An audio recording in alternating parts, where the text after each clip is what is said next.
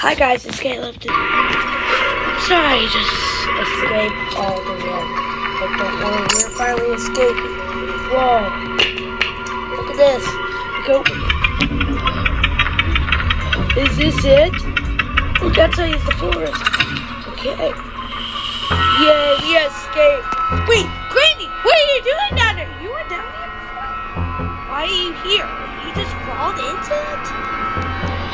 There's Spider Angelina! Oh my god, this is so epic! Oh! The end! She looks very hungry. I can't believe I escaped in Granny one day.